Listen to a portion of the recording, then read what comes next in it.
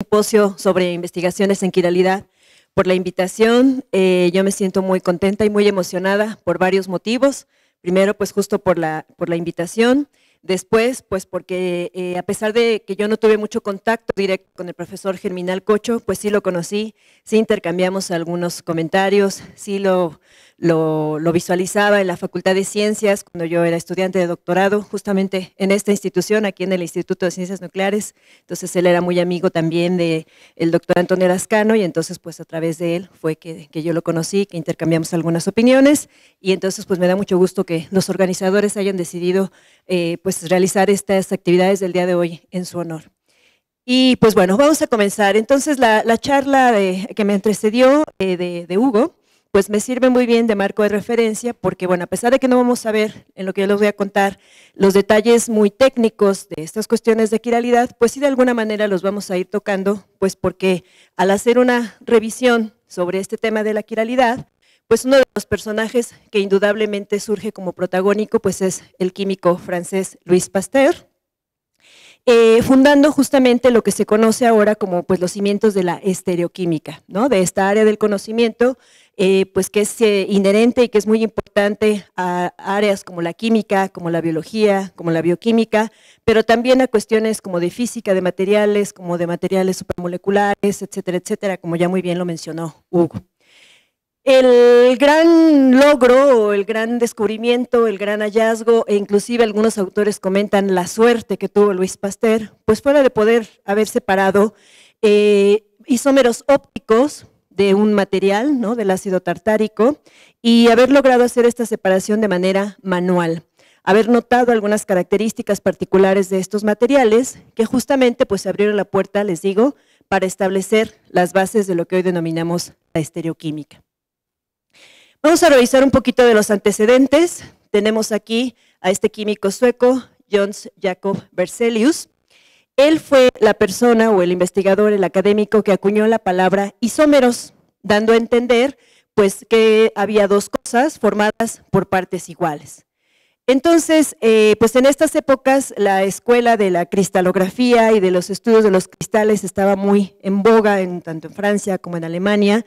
Entonces, pues mucho de lo que se decía, mucho de lo que se comentaba en los círculos académicos, pues tenía que ver con esto, con la identificación, la caracterización de los cristales, su morfología, qué hacían, qué no hacían.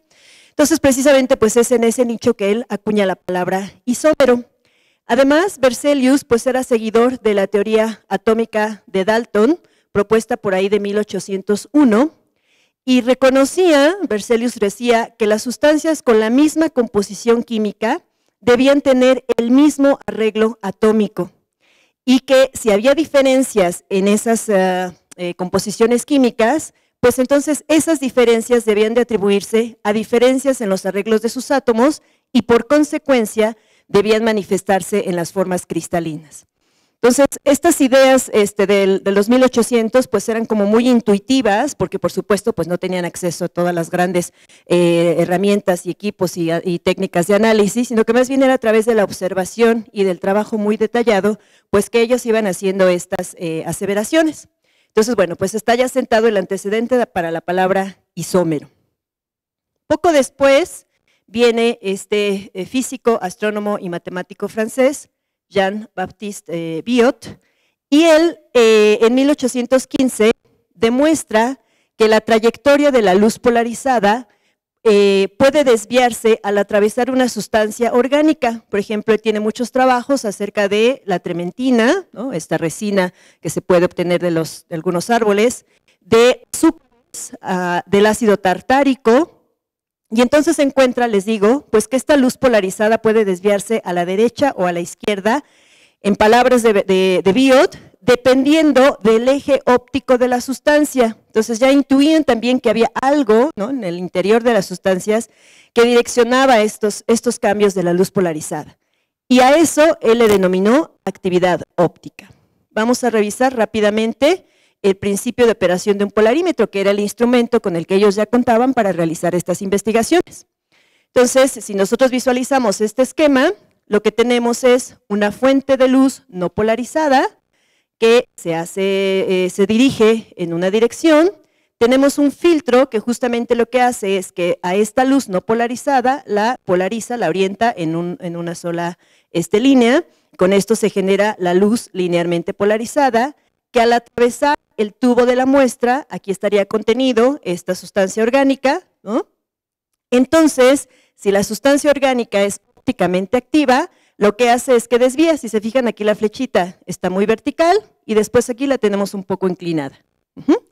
Y después de esto tenemos otro filtro polarizador, que este es rotatorio, porque entonces ahora se gira, ya sea a la derecha, bueno, a la derecha o a la izquierda, bueno, derecha o izquierda, desde el punto de vista del observador, para encontrar el máximo de intensidad, porque están de acuerdo que si este, este haz que venía muy derechito aquí sufre un desviamiento, si yo pongo el filtro en la misma posición que el filtro inicial, pues no voy a ver nada. Entonces lo que tengo que hacer es girar el filtro para encontrar entonces ese máximo de intensidad y entonces yo detecto ahí hacia dónde fue ese cambio de la luz y puedo medir o se puede medir la magnitud del cambio en esa dirección. Típicamente se mide esto en grados. Entonces, les digo, si la sustancia eh, provoca un giro de la luz polarizada a la derecha, entonces esa sustancia va a ser dextrorotatoria y a esta la vamos a identificar con el signo más. Si lo hace hacia la izquierda, pues entonces va a ser una sustancia levorotatoria y la vamos a identificar con el signo menos. Entonces esto ya se sabía para los 1815 y pues era una práctica más o menos cotidiana. Si tenían un polarímetro, que tampoco es un instrumento nada complicado, pues entonces se podían hacer este tipo de estudios y se hicieron en muchísimas, muchísimas, muchísimas, muchísimas sustancias. Después viene este personaje, ¿alguien de aquí habla alemán? que me ayude con la pronunciación. Tomás, por favor. Mitscherlich o algo así. Yo soy pésima con el alemán. Entonces, él, para 1844, eh, realizando justamente estudios sobre cristales del ácido tartárico, encontró, pero no publicó, una anomalía relativa a un par de enantiómeros. Él se puso a estudiar con mucho detalle a el tartrato de amonio, amonio y sodio, perdón, que vamos a identificar de ahora en adelante como TAS, bueno, para fines de esta plática. Y al paratartrato de amonio y sodio, que vamos a identificar en esta plática como PAS. Entonces encontró que estas dos sustancias, el TAS y el PAS, no presentaban diferencia en su composición química, en sus pesos específicos o en la forma de los cristales de sus isómeros, según él. Sin embargo, él observaba que el TAS era ópticamente activo, mientras que el PAS era ópticamente inactivo, lo cual es todo un crucigrama, ¿no? Porque si las sustancias no difieren en otra cosa más que en su actividad óptica, para los conocimientos de esa época, pues eso no checaba. Si tienen la misma composición química, si tienen la misma proporción, si tienen los mismos átomos, ¿qué hace que entre ellos dos existe esta diferencia de actividades ópticas? Eh, yo titulé aquí esta diapositiva la, importancia de no perder detalle porque justamente él pasa por alto esto de la forma de los cristales. Para él, tanto los cristales de TAS como de PAS son iguales, ¿no? en, las apreciaciones que hizo Mitscherich o algo así. Gracias, Tomás.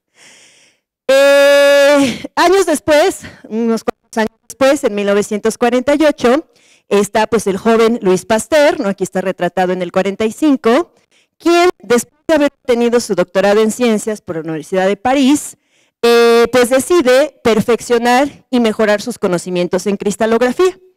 Entonces, pues justamente él ya conocía estas investigaciones de Mitscherlich, ya conocía el, funcionamiento del polarímetro de Biot, ya conocía algunos otros experimentos realizados, por ejemplo, por el mismo acerca de los cristales, etcétera, y este pues decide que necesita un entrenamiento más a profundidad en el tema de la cristalografía. Entonces retoma justamente los trabajos del ácido tartárico y de sus, las sales derivadas. Ahí se encuentran este TAS que les comentaba, el tartrato de amonio y sodio, y el PAS, el paratartrato de amonio y sodio. Entonces, revisando nuevamente eso, este, pues se encuentra además, se sabía también que dice aquí, el problema en realidad iba más allá, solamente se trataba de analizar con detalle los cristales, sino que había reportes de que esos cristales tenían una diferencia en la cantidad de moléculas de agua de cristalización. ¿no? específicamente el TAS y el PAS, diferían en la cantidad de moléculas de agua de cristalización, que era otra cosa que como que no embonaba en lo que se esperaba para sustancias aparentemente iguales. Entonces, pues como de lo que se trataba era de analizar la cantidad de moléculas de agua de cristalización, pues comienza a hacer una búsqueda muy minuciosa acerca de las diferencias microscópicas en las estructuras cristalinas de estas dos sustancias, del TAS y del PAS. Entonces dice, en los cristales del ácido tartárico y de sus sales, Pasteur encontró pequeñas superficies denominadas al día de hoy caras hemiédricas, que lo que hacían era que distorsionaban, que degradaban la simetría de los cristales. Encontró, por ejemplo, que todos los cristales del TAS tenían estas caras orientadas en la misma dirección y además confirmó la actividad óptica de este compuesto. Hasta ahí no había nada nuevo, ¿no? El TAS ya sabíamos que era ópticamente activo. Pero luego cuando examinó el PAS, identificó dos tipos de cristales que estaban presentes en una relación uno a uno. E interesantemente notó que estos cristales eran imágenes especulares no superponibles entre ellos. Entonces separó manualmente a los dos tipos de cristales y encontró que una vez separados y disueltos, cada uno de ellos eran ópticamente activos con rotaciones iguales en magnitud, pero opuestos en dirección. Un tipo de cristales era dextro rotatorio, como el TAS, que ya todo mundo en ese momento conocía, que es de origen natural, y el otro era levorotatorio. El otro componente que estaba en el PAS era levorotatorio. Entonces, pues aquí hay varias cosas que distinguir, ¿no? La primera de ellas, pues es el hecho de haber notado la existencia de estas caras, que en realidad fue lo que le pasó por alto, ¿no? Dejó pasar por alto Mitscherlich. Creo que cada vez voy deteriorando más la pronunciación. Eh, entonces, se dio cuenta de la existencia de estas caras y además se dio cuenta de que entonces sí había, eh, los cristales en realidad del paz no eran tan semejantes, sí había diferencias entre ellos que se podían observar a simple vista, ¿no? En principio igual utilizó una lupa, etcétera, pero se podían este, visualizar sin mayor equipo. Y el hecho de haber notado que estos cristales eran imágenes especulares no superponibles uno del otro. Además, racionalizó que el PAS entonces era simplemente una combinación de dos sustancias ópticamente activas, como ya lo había encontrado él experimentalmente, que, es que en una proporción uno a uno, pues entonces lo que hacían era que cancelaba su cancelaban entre ellos mismos su actividad óptica. Al cristalizar por separado ambas sustancias y descubrir que sus cristales tienen una relación de imagen especular de uno respecto al otro y que no pueden superponerse, entonces en realidad lo que estaba haciendo era descubrir la quiralidad, aunque en su tiempo todavía ni siquiera se llamaba así. Lo que tenemos aquí en la imagen es justamente una representación de los cristales de ácido tartárico, en donde podemos observar eso que les mencionaba como las caras hemiédricas, ¿no? que entonces al estar en direcciones distintas, pues hacen que se pierda la simetría este, del cristal. Si revisamos esto en la nomenclatura actual, pues entonces lo que tenemos es, aquí está una representación del ácido tartárico con el que estuvo trabajando este Luis Pasteur. Aquí tenemos una representación en un modelo tridimensional con esferitas, del ácido tartárico dextrorotatorio. Acá tenemos una representación de la misma sustancia, pero levorotatoria. Entonces dice, Pasteur había descubierto los enantiómeros del ácido tartárico. ¿no? Al día de hoy, pues sabemos que los enantiómeros son sustancias que tienen las mismas propiedades físicas, como por ejemplo el mismo punto de ebullición, la misma solubilidad, la misma densidad y otras, que también tienen las mismas propiedades químicas, por ejemplo, su constante de disociación, ¿no? en el caso de estos que son ácidos, pues hay una constante de disociación, un valor de RF, si uno está tratando de separarlos por cromatografía, pues corren, ¿no? el valor de RF es la distancia que recorren, entonces pues por cromatografía no se pueden separar, inclusive comparten el mismo espectro tanto de resonancia magnética nuclear o de infrarrojo, son dos técnicas que nos sirven para caracterizar a las moléculas. Entonces tienen mismas propiedades físicas, mismas propiedades químicas y el mismo comportamiento químico, al día de hoy sabemos, siempre que no se expongan a un ambiente quiral. O sea, si no que permita distinguir el ácido tartárico dextrorotatorio del levorotatorio, pues para nosotros van a ser las mismas sustancias, así como le pasó a Mitscherlich. con el paz. Ajá. Había descubierto también Pasteur lo que hoy denominamos mezcla racémica o racemato, ¿no? ya que una mezcla contiene la misma cantidad de un par de enantiómeros, y eso fue lo que propuso para el PAS. O sea, el PAS, ¿por qué no era ópticamente activo? Pues porque tenía 50% de este y 50% de este, que como vimos, por separado son ópticamente activos, pero al estar juntos, pues entonces efectivamente cancelan su actividad óptica. Y además había realizado la primera resolución quiral, una resolución quiral, pues es justamente el proceso o la operación que nos separar a compuestos racémicos en sus enantiómeros. Entonces, a partir del PAS, pues Pasteur había podido este, eh, físicamente realizar la separación del más y del menos ácido tartárico.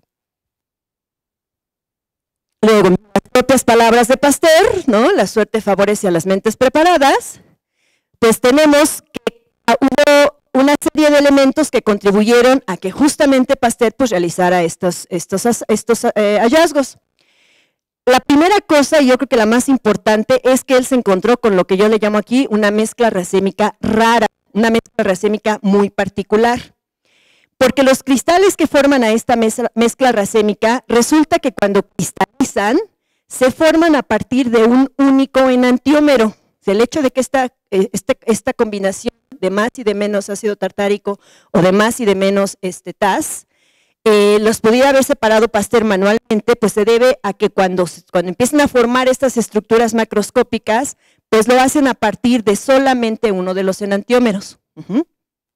Formaron cristales muy grandes, bueno, grandes en el sentido de que se podían ver físicamente, eh, eh, visualmente, quiero decir, manualmente, sin, sin ayuda de un instrumento muy sofisticado, las diferencias entre ellos, y esos cristales corresponden con imágenes especulares no superponibles.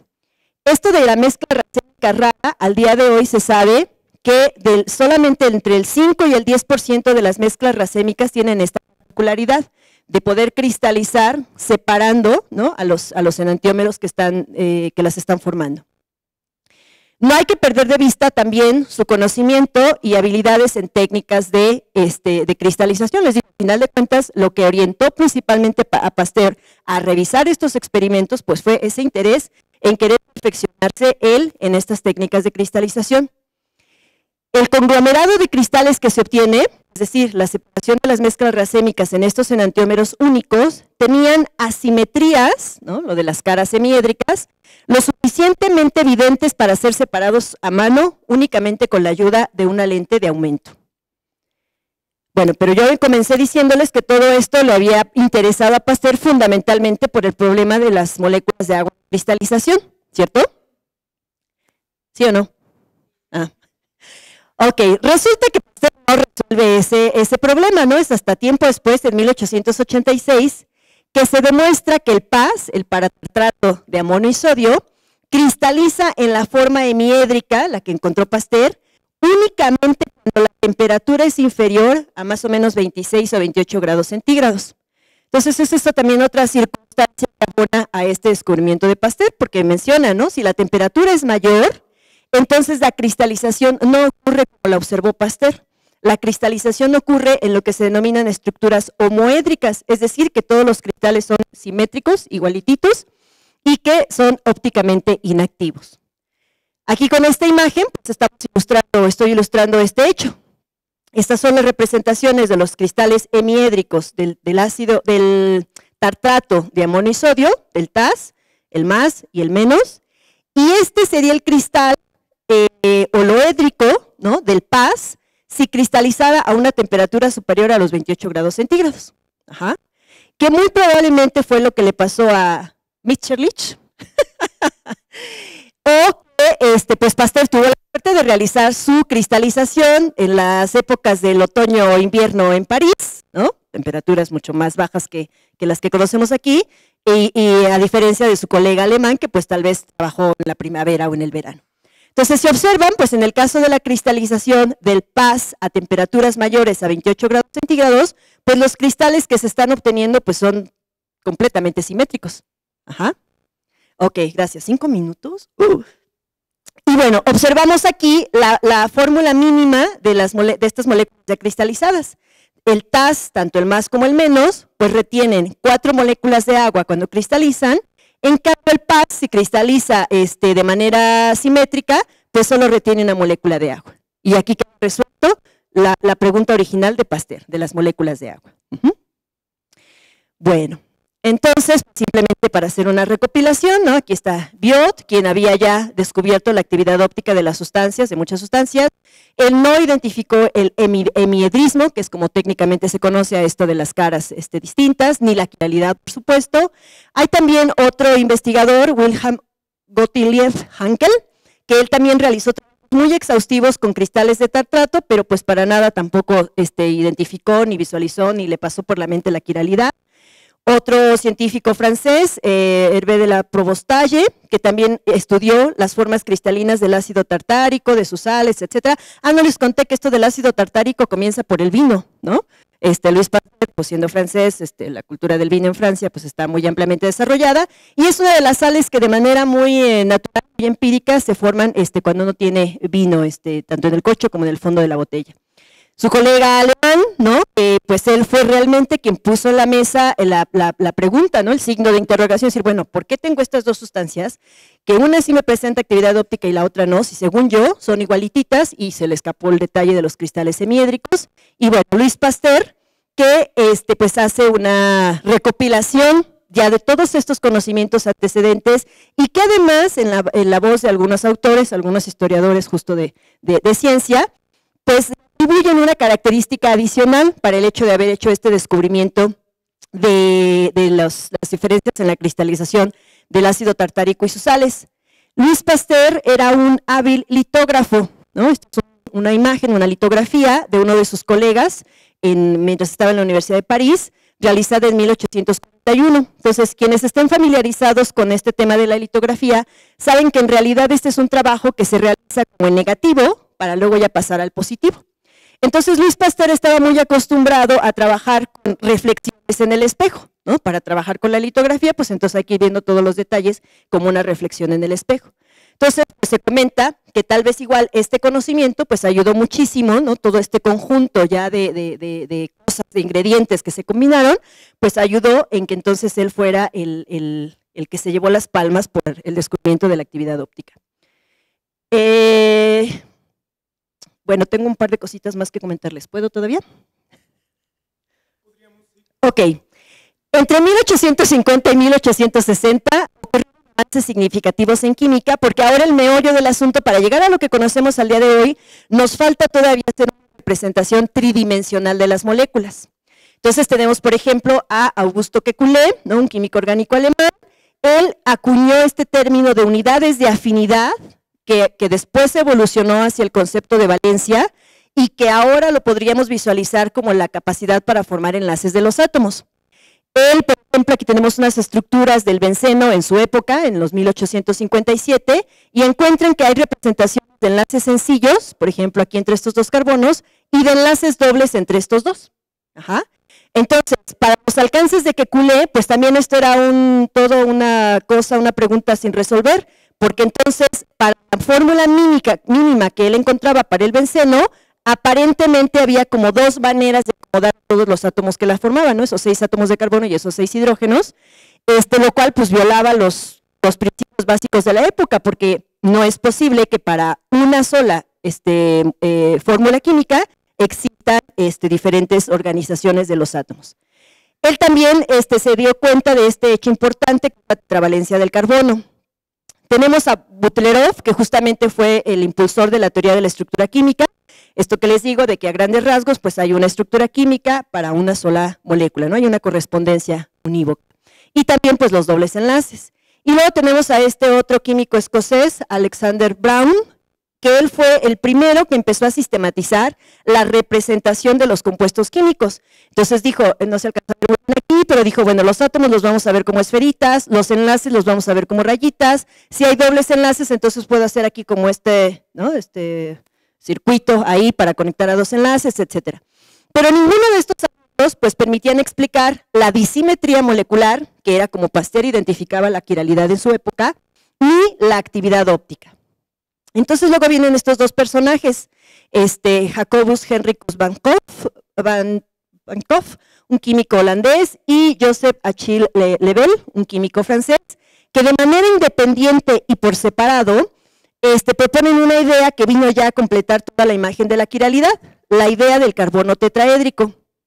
En las palabras de Van Hoff, este, en los casos en donde tenemos cuatro afinidades, acuérdense, las afinidades son como los enlaces, de un átomo de carbono que son saturadas con cuatro grupos este, diferentes y univalentes y que solo dos y no y que solamente dos y no más de dos este, se pueden unir, se forman un arreglo tetraédrico, ¿no? Y estas son las imágenes, esto es uno de, las, de, los, de los dibujos, de los esquemas publicados por Bankov.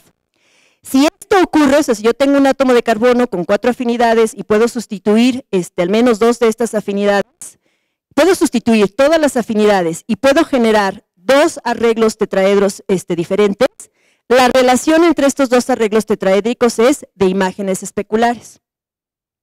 Por su lado, Lebel, que era eh, eh llega a hacer esta, bueno, se dice que llega a hacer esta aproximación pues basado mucho en su conocimiento en química, pero también en su conocimiento en matemáticas. Él tiene mucho conocimiento de geometría este, eh, del área de las matemáticas. Entonces, se argumenta que eso le ayudó a llegar aquí.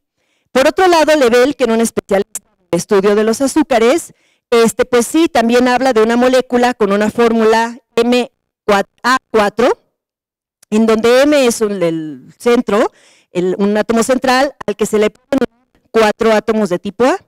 Entonces dice, bueno, hay una explicación y dice, si sucede que dos de estos sustituyentes, de estos grupos A, este, yo los cambio por, átomos o por moléculas que son distintas, entonces estamos obligados a admitir que los cuatro átomos que van a, van a estar alrededor del, átomo M, pues van a estar en los ángulos de un tetraedro regular.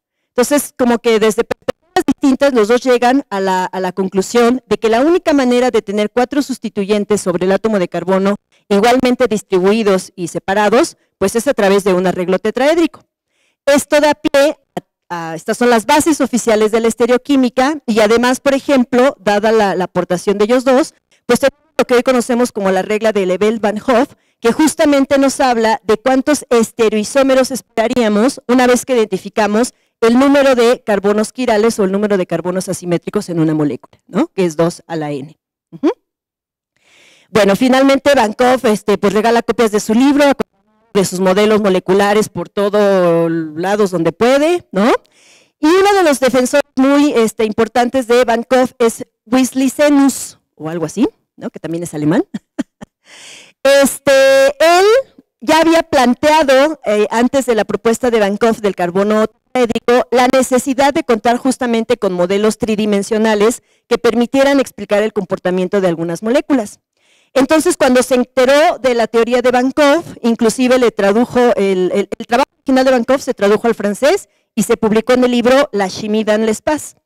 Y Wislicenus este, lo tradujo al alemán y pues lo propagó y lo defendió y lo hizo que todos sus colegas lo utilizaran y lo probaran y todo, porque en un inicio, pues ustedes ya sabrán, ¿no? las, primeras este, eh, veces que se presenta una nueva teoría, pues esta es fuertemente criticada. Entonces, pues ya llegamos ahora sí a terminar el círculo y ya nada más nos faltan los términos quiral y quiralidad, que estos fueron propuestos por William, William Thompson o Lord Kelvin en 1884, o sea que 40 años después de los trabajos de, de Pasteur. Entonces dice, yo puedo llamar a cualquier figura geométrica o grupo de puntos quiral y decir que tiene quiralidad si su imagen en un espejo plano, realizada idealmente, no puede, este, ser, eh, no puede hacerse que coincida con ella misma. Es decir, la imagen especular de este conjunto de puntos, pues no puede hacer que coincida con, este, la imagen original no puede hacer que coincida con la imagen especular. ¿no? Y bueno, ya mencionaron el origen de, esto de la quiralidad. Y pues al día de hoy, ¿no? El ejemplo de las manos, como ya mencionaban también al inicio, pues es el ejemplo típico de cuando uno quiere hacer alusión a esta propiedad de la quiralidad. Y bueno, yo con esto aquí los dejo. Muchísimas gracias por su atención y pues durante el, simposio pues estaremos descubriendo respuestas a muchas de las interrogantes que existen en torno a estas áreas. Muchas gracias.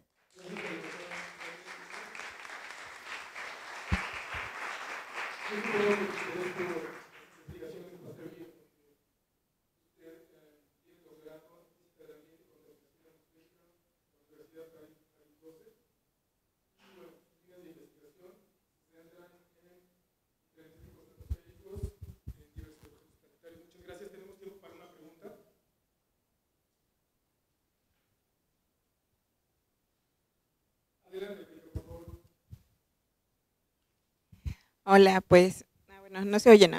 ¿Así se oye? Ah, ok.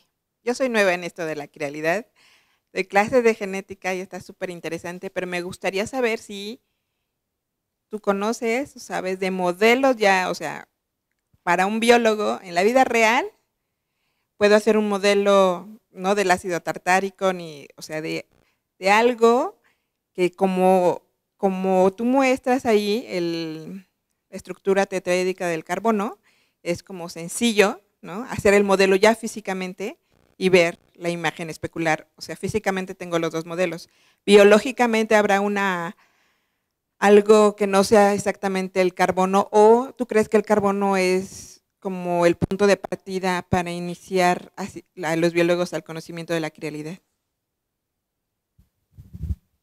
No sé si entendí bien la pregunta. Este, modelos de representación de moléculas, Sí, eso ya tenemos, o sea, ya, por ejemplo, sabemos cómo está el ADN, cómo está organizado, las distancias que hay, las bases nitrogenadas, quién se une con quién, qué tipo de interacciones intermoleculares, ¿no? Donde hay enlaces verdaderos, enlaces covalentes, donde hay fuerzas de atracción, como los puentes de hidrógeno. Todo eso ya lo sabemos, todo eso está medido, calculado, se puede visualizar, eso está bien. Este, el otro aspecto de que si el carbono es necesario para la quiralidad, pues no, yo creo que en el transcurso del día estaremos escuchando que también hay compuestos, por ejemplo, inorgánicos o donde no tienen carbono, este, que también presentan quiralidad per se, ¿no? por la desviación del plano de luz polarizada o por la morfología, que es un poco lo que explicaba este Hugo. O sea, hay como dos niveles, el nivel microscópico molecular, ¿no? que justamente te dice, bueno, el carbono tiene estas propiedades o algún otro elemento metálico, ¿no? en la química inorgánica pues trabajan con elementos metálicos que tienen ciertas propiedades, que orientan a sus sustituyentes y nos dan este resultado. Y macroscópicamente, como por ejemplo la molécula de ADN, que está como del Inter, o las conchas, estas caracolas que hablaban, que la mayoría son dextrógiras o levógiras, este, esa es una propiedad de geometría, ¿no? que también te conduce a quiralidad, pero que ya es en el mundo macroscópico. Entonces, por ejemplo, una de las preguntas es justamente cómo unimos, cómo hacemos para pasar de los tabiquitos, ¿no? Las los átomos, hacia estas grandes estructuras macroscópicas moleculares. Ahí hay un signo de interrogación y los colegas que están participando no me dejarán mentir. Ajá. Si entendí bien tu pregunta, eso es así, pero si no, si quieres, pues al ratito podemos platicar más a detalle.